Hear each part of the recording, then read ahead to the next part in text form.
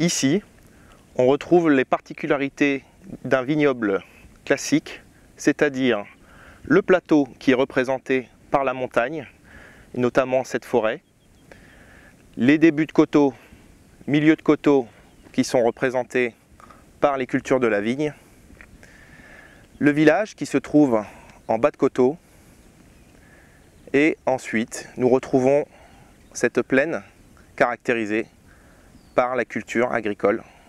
Bonjour, je m'appelle Jean-Baptiste Paquet, j'ai 31 ans et je suis originaire de Villers-Marmerie.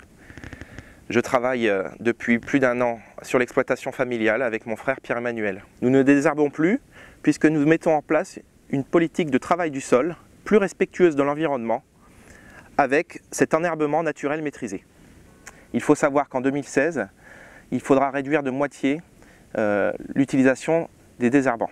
Actuellement, nous n'appliquons plus aucun désherbant sur nos parcelles enherbées. Autre avantage de cette technique, c'est que lors de maladies, lors de contamination euh, pendant des pluies euh, extrêmement importantes, la contamination se fait par le sol et éclabousse sur les feuilles. L'effet anti-splatching, autrement dit effet anti-éclaboussement, le champignon va rester dans le couvert végétal et ainsi retarder la contamination de la vigne d'environ de 1 à 2 semaines. L'avantage d'avoir cette technique d'enherbement va permettre euh, de compacter la matière organique et de la laisser sur place. Il n'y aura aucun ruissellement dans la vigne. Le sol est également très aéré par le faible système racinaire que l'on retrouve dans la couche arable du sol. La technique employée reste sur une plante avec un système racinaire très petit qui va permettre d'aérer notamment le sol et d'apporter une vie considérable à l'intérieur du sol. Et cette plante est le pâturin. Cette herbe naturellement implantée sur cette surface va puiser dans les éléments nutritionnels du sol et donc rentrera en concurrence avec le pied de vigne. Ce pied de vigne a un besoin en énergie, ce pied de vigne est très vigoureux.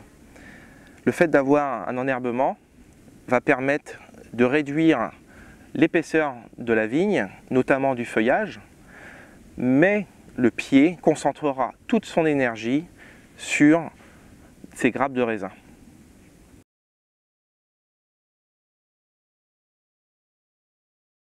bonjour, je me présente, Pierre-Emmanuel Paquet, vigneron à Villers-Marmerie. Ça fait une dizaine d'années que je me suis installé pour élaborer du champagne. Nous travaillons uniquement avec le raisin qui provient de nos parcelles. Donc, pour l'élaboration du champagne, deux étapes importantes.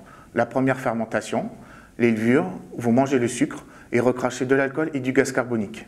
Les cuves restent ouvertes et le gaz carbonique peut ainsi s'échapper. La deuxième étape, avec le même procédé, c'est la prise de mousse. Donc des levures qui vont manger du sucre et recracher de l'alcool et du gaz carbonique, mais cette fois-ci en bouteille. On peut voir ici, une fois que la prise de mousse est terminée, donc la, deuxième fermentation, le dépôt, le dépôt s'est formé dans la bouteille. Donc, ce sont des levures. Plus on les laisse longtemps en bouteille, plus elles vont donner d'arôme au vin. Mais arrive un moment, le jour où j'ai besoin de vendre ces bouteilles, je vais être obligé d'enlever ce dépôt. Parce que sinon, voilà, le vin est trouble et imbuvable. Donc, on va procéder de manière très simple. Les bouteilles, nous allons les poser sur un pupitre. C'est une table un peu en forme de A avec plein de trous dedans. On met la bouteille donc à l'horizontale et tous les jours, on la remue d'un quart de tour, tout en l'inclinant. Au bout de trois semaines, le dépôt a complètement disparu de la bouteille et apparaît ici, au niveau de la capsule. Et là, nous allons passer au dégorgement. Donc, le principe du dégorgement, des machines, maintenant, les machines, c'est beaucoup plus rapide. Donc, on plonge la bouteille dans une solution très froide, à moins 30 degrés. Un glaçon se forme et emprisonne le dépôt. Une machine va ouvrir la bouteille. Donc, avec la pression de la bouteille, le glaçon est expulsé. Nous allons rajouter un petit peu de liqueur. C'est ce qui va sélectionner notre typicité de vin, genre brut, extra brut ou demi-sec. Nous rajoutons un bouchon, un muselet. La bouteille est lavée, ensuite habillée prête à être vendue. Voilà, donc je pose ma bouteille sur ma hanche. Je surveille bien la bulle d'air qui se situe au fond de la bouteille. Je mets mon décapsuleur. Petit à petit, je vais relever ma bouteille de manière à ce que la bulle d'air s'approche de l'épaule. Une fois que la bulle d'air est au niveau de l'épaule, je relève un grand coup et j'ouvre. Je ferme avec mon pouce, le dépôt est expulsé et le vin reste dans la bouteille.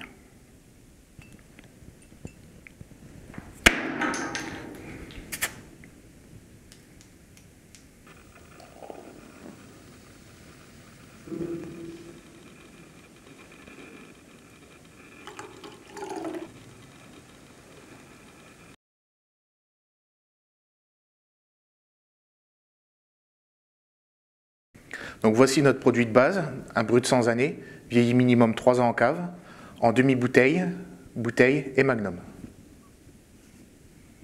Donc voici le rosé. Le rosé est un assemblage de vin blanc, chardonnay, et de vin rouge, pinot noir.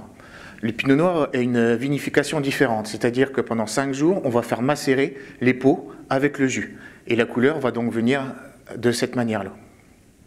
Voici notre euh, cuvée spéciale, donc la cuvée fût entièrement travaillé en fût de chêne. Donc, c'est-à-dire qu'au moment de la vendange, le jus est directement mis dans le fût, fermente dans le fût et ensuite vieilli.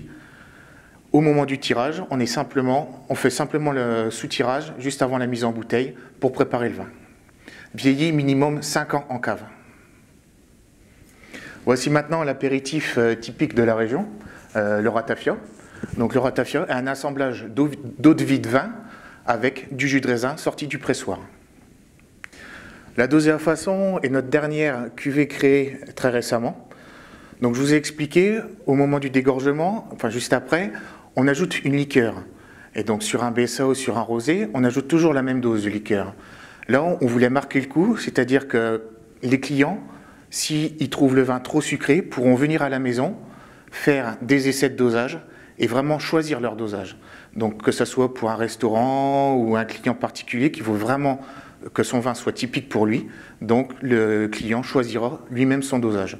Donc euh, la cuvée dosée à façon.